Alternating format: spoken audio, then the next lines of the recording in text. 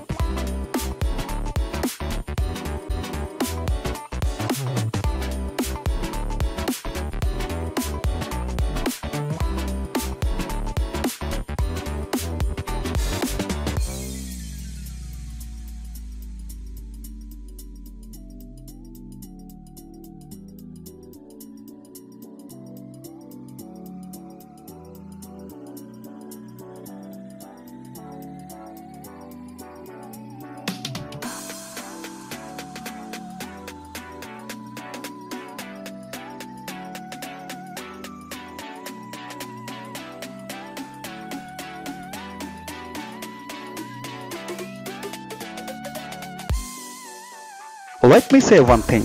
Connections inside.